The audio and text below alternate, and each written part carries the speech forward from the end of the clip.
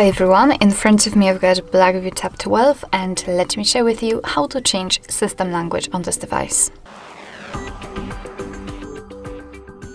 So first of all, we have to enter the settings and then in this left section, scroll down to the very bottom to find the system.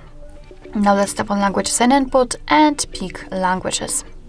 And as you can see, this is the list of all currently applied languages, so let's add new one, tap on add a language, and here we've been transferred to the list of available languages from which we can choose. So basically all you have to do is to find yours and tap on it just like I did accidentally on this on this language which I really even cannot read. So let me pick uh, maybe maybe um, French, just tap on it Sometimes you will be able to pick the region, so just pick the one you'd like to set. And as you can see, it will immediately um, appear on this list, but English is still a main one. It did not change uh, when I've chosen this strange language uh, or the French language. It is because when you've got the language on the first um, position, it will always be a main language. So this one which is set.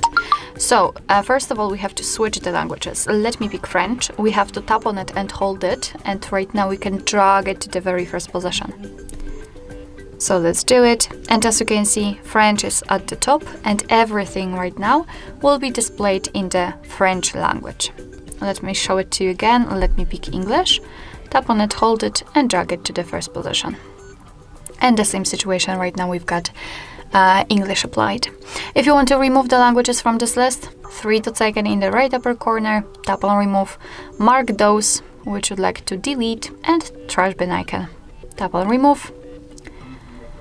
And as you can see, we've got only English left. Alright, so basically that's all. This is how to change system language in your Blackview um, tab 12. Thank you so much for watching. I hope that this video was helpful and if it was, please hit the subscribe button and leave the thumbs up.